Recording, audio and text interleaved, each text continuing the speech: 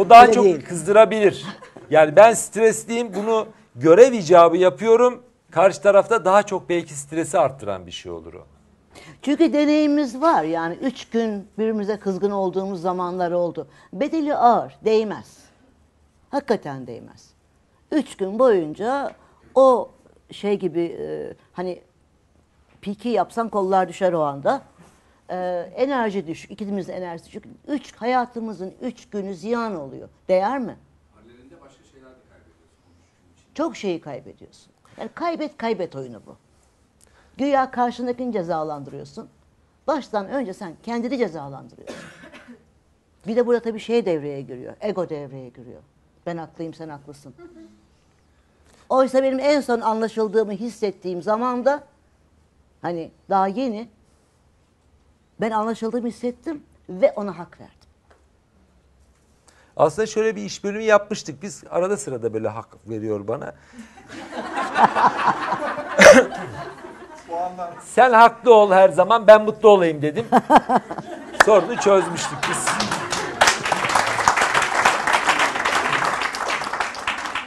Evet, oradan Bir şey, arkadaş- e, orada şey.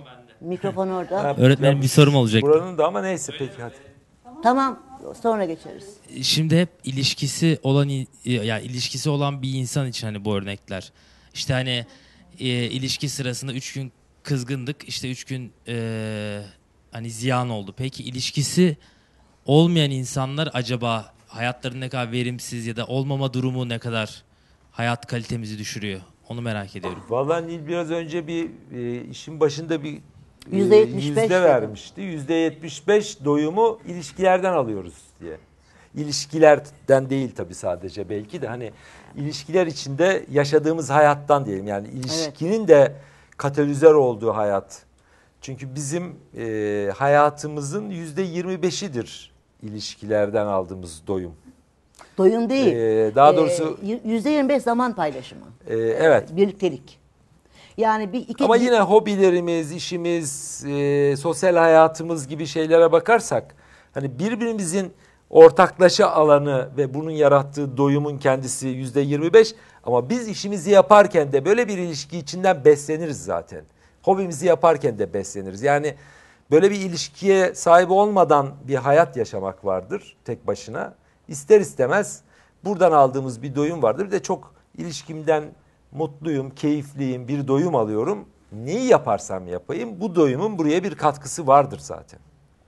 Şu var ki sonuçta biz yalnız ada değiliz. Her ne kadar ilişkimiz yoksa bu ortamdan, bu durumdan tamam kabulleniyoruz, iyiyiz diyoruz. Ama o süreci nasıl harcayacağız, nasıl geçireceğiz? Yani tek başına olduğumuz, ilişkimizin olmadığı dönemi kendimizi geliştirerek. Yarım insan olmaktan bütün insan olmaya doğru yol alarak. Ee, yoksa aman birisi gelecek beyaz atlı prensim prensesim işte yakında inşallah evlenme programına mı gitsem? Hani sürekli böyle a, bir ilişkiye muhtaçlık duygusu yarattığında ille de birisi olsun hayatımda insanları kendinden uzaklaştırmanın en kestirme yolu bu. Hiçbir insan kadın ya da erkek muhtaç insandan hoşlanmaz. Ve böyle ille de bir ilişkim olsun, yapışayım, tutayım diye yaklaştığında o enerjiyi algılıyor. Çünkü muhtaç insan ne enerjisi veriyor? Ben değersizim. Ancak seninle birlikte olursam kendimi bir lokma değerli hissederim. Ee, Arkadaş bir soru soracak. anlatabildim mi? Biraz önce stresi siz yardım edip stresinizi alıyorsunuz. Ya bunu bilmeyen siz artık bu işi yani kapmışsınız her şeyi biliyorsunuz. Ya bilmeyen bir kişi karşıdakinin stresini almıyorsa kendi kendinin stresini nasıl alabilir insan? Zaten e, neticede karşıdaki kişinin stresini almak için önce kendi stresinin farkına varıp orada stresten çıkarman gerekir. Şunu hatırlatmak kendimize böyle anlarda. Tabii stresin içine çok fazla sürüklenmeden bunu yapabilirsek. Mümkün yapamazsak yanlış yaptığımızı bile bile yapmaya devam ediyoruz. Yani hem e, öyle bir kızgınlık içine giriyoruz, öyle bir öfke içine sürüklenebiliyoruz ki bunun yanlış olduğunu, kırıcı olacağımızı, daha sonra bundan pişmanlık duyacağımızı bir taraftan biliyoruz ama artık kontrol gitmiş bizden. Ama şu yani O nedenle aslında baştan ele almak lazım. eskilerin söylediği bir söz vardır. Hani önce 10 kere derin, derin nefes al derler. En basitinden en bunu basit yapabilirsiniz. evet. stresi aşmanın en hızlı yolu derin nefes almak. İkincisi o sende stres, kızgınlık yaratan düşünce her neyse şunu sorgulamak o nefesten sonra. Bu düşünce doğru mu? Bu düşünceye neden bağlanıyorum? Doğru mu bu düşünce? Bu düşünce bir varsayıma mı dayanıyor? Zihin okumaya mı dayanıyor? Nereden kaynaklanıyor? Neden bağlanıyorum bu düşünceye ben? Ama bütün bu sorgulamalar stres anında yapılamaz. O derin nefes alıp sakinleştikten sonra. Çünkü düşüncelerimizle kendi kendimize fokurdatıyoruz. Kızdıkça kızıyoruz, kızdıkça kızıyoruz. Evet, e, burada şöyle bir şey de ben ekleyeyim. Aslında fazla sürüklenmediğimiz bir noktada yakalayabilirsek kendimizi zaten elimizde birkaç şey var, e, imkan var. Bir, derin nefes almak hemen çıkarabilir bizi. İki, son kez gördüğümüzü görmüş olabileceğimizi bir O da çok varsayım olarak çıkartıyor. hatırlatmak kendimize ve öyle ayrıldık oradan. Bir daha da görmeyeceğiz. İnanılmaz etkili bir yöntem. E karşımızda 3 yaşında bir çocuk var. Sırlıyor, ağlıyor, tepiniyor, bir derdi var ya da konuşamıyor. Bir yaşında henüz diyelim. Bu bile etkili olabiliyor.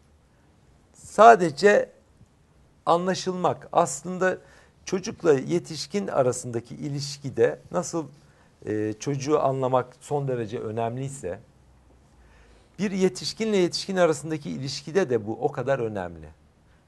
Anlaşılmak esas bizim amacımız bir ilişkide. Ve bütün çatışmalara bakın anlaşılmadığımızı düşündüğümüz durumlarda ortaya çıktığını görürüz.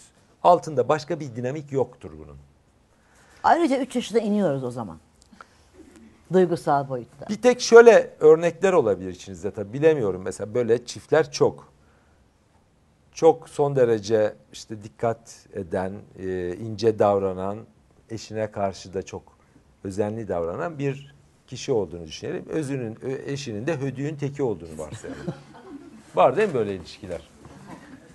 Yani ne kadar ince davranırsa davransın, o hödükçe davranmaya devam ediyor. Peki bu durumda ne yapacağız diyebilirsiniz. Aslında tabii bu e, baştan zaten ilişkinin kendisini e, masaya yatırmak gibi bir neden. Neden ben böyle bir insana e, bu kadar özenli davranmama rağmen bu insanı seçiyorum ve bu insanla birlikte kalmaya devam ediyorum? Bir bu sorunun cevabı bizi zaten geliştirir. Hep yüzde yüz sorumluluğumuzu almak burada önemli. Esas yaklaşımımız bu olması gerekiyor. Yani ben hayatımın yüzde yüz sorumlusuysam seçimlerimin de yüzde yüz sorumlusuyum ve o e, kişiden kabaca davranışlara maruz e, e, muhatap olduğum o kişiyle neden bir aradayım diye bunu sorgulayabilirim. Çünkü onunla bir arada kalma seçimini de ben yaptım.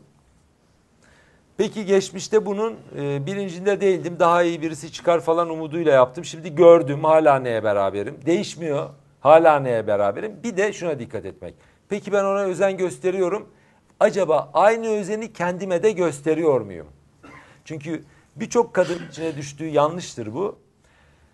Eşine öylesine bir özenli davranır ki el üstünde tutar. Ama kendisine aynı özeni göstermez. Burada verdiği mesaj şudur. Ya ikimiz de bu ilişkiye seni mutlu etmek için girdik. Bak ben elimden geleni yapıyorum. Sen de aman gözünü seveyim elinden geleni yap kendini mutlu etmek için gayret et. Bu mesajı aldığı için o da elinden geleni yapar. Ve sana özensiz davranır, kaba davranır. Sen de bunu anlayamazsın. Ya bak ben ona davranıyorum. Öğretiyorum bana da böyle davranmasını. Ama bir türlü öğrenmiyor. Hayır öğretmiyorsun. Aslında ona öğrettiğim biraz önce söylediğim gibi senin Ben senin için mutluluğun varım. her şeyin önünde bu ilişkide. Ben o ilişki içinde kendime de ancak özen gösteriyorsam partnerim bana özenle geri dönme şansına sahip. Özen göstermek derken burada birçok kadın şey anlıyor. e, saçıma başıma özen gösteriyor. Bu öyle özen değil. Ben öyle demiştim. Değil tabii. Yani kendime saygı duyuyor muyum? Kendime saygı duyuyor muyum? Kendime değer veriyor muyum? Yoksa sen benden daha değerlisin. Ben senin hizmetindeyim mesajını mı veriyorum? Çünkü sen de saygıyı hak ediyorsun gösterdiğin kadar. Eğer birisinde sen gösterip o sana göstermiyorsa burada bir yamukluk var.